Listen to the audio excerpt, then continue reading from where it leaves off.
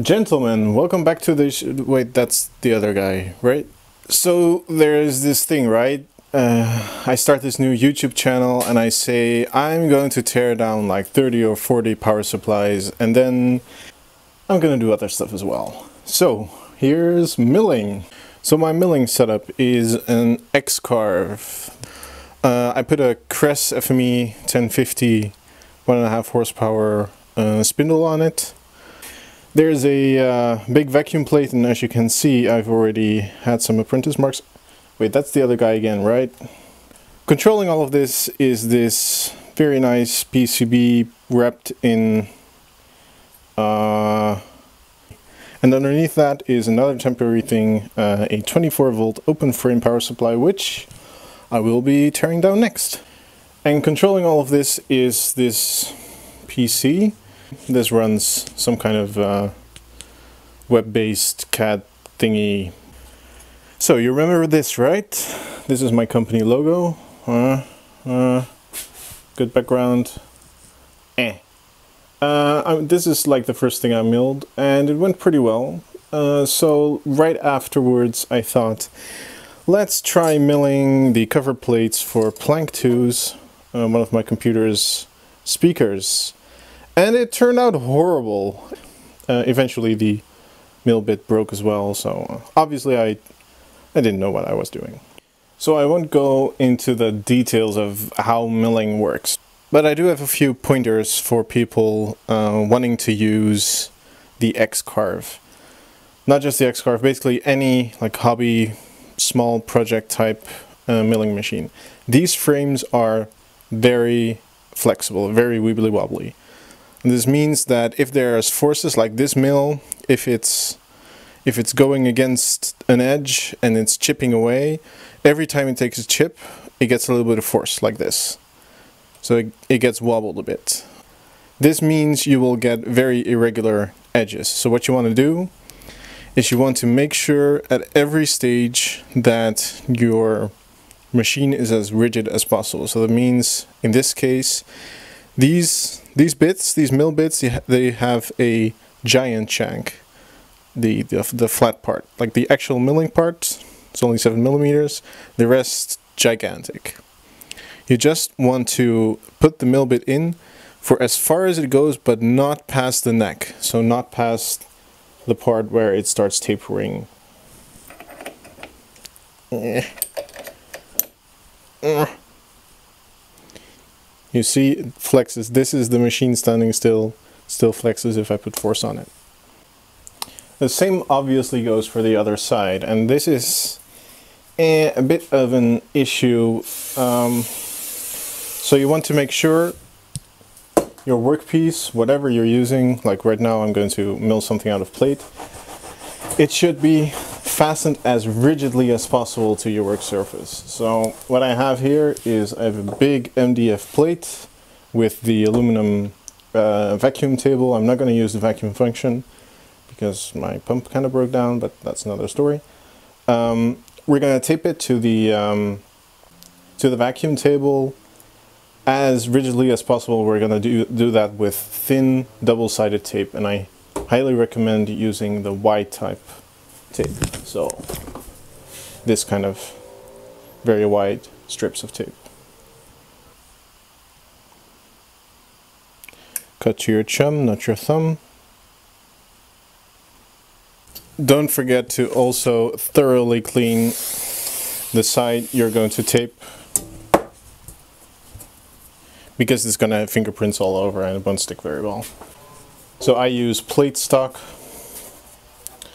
uh, I just bought like 10 pieces of 30 by 40 centimeter uh, various thickness aluminum so I can just do stuff. With these machines, something that I find very handy is you can just move it around with your hand. I'm just I'm just pushing it pushing it around uh, the only thing you cannot do is adjust the z-axis, so you need to do that by software because it's, uh, it's done with a worm gear. Uh, so, meh.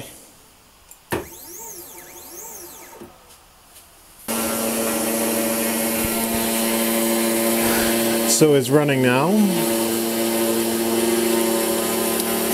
And one of the nice things about these desktop machines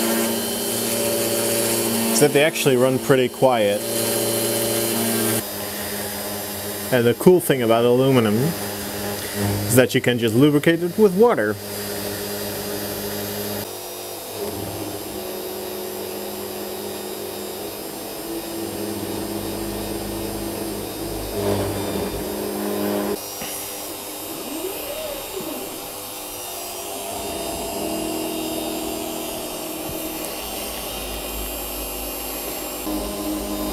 So I'm just dumping water over this and hoping the chips get removed into the water. Uh, that's not really a good idea, but for these really low removal projects, it's fine. Extraordinary claims require extraordinary evidence. If you tell me that your name is Tommy, I can, I'm willing to accept that on face value with no other, no other evidence required because, for one thing, it doesn't matter. It doesn't matter if your name is Bill or Steve or whatever. It's done. Oh. Eh, done. Uh, it looks like shit right now because still has the cover uh, covering material on it and still has some pieces of metal in it. So just gonna clean it up and show you the end result.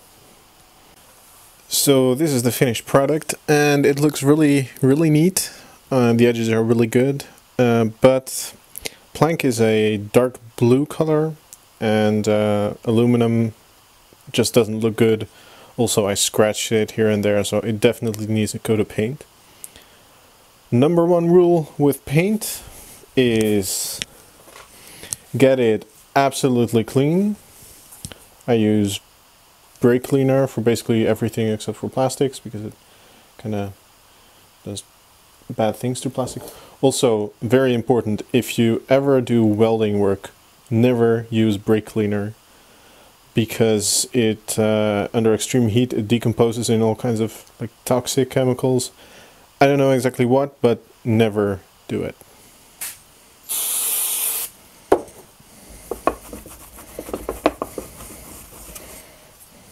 Second rule of painting, especially when spray painting, make sure it's suspended like in the middle of a room so you can easily go around it.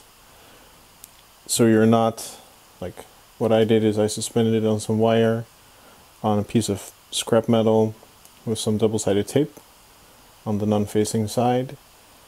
Um, yeah, it really needs to be suspended so you can get everywhere.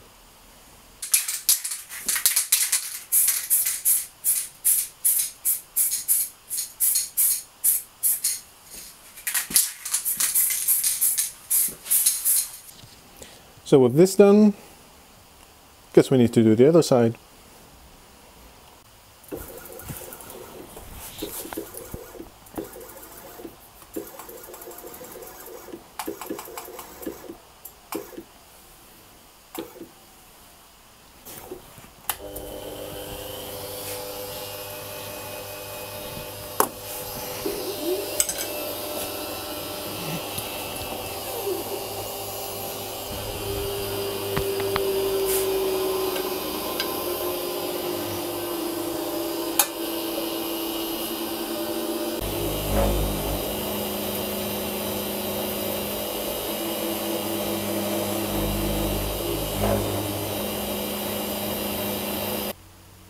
And the Pixies decided to make a second one.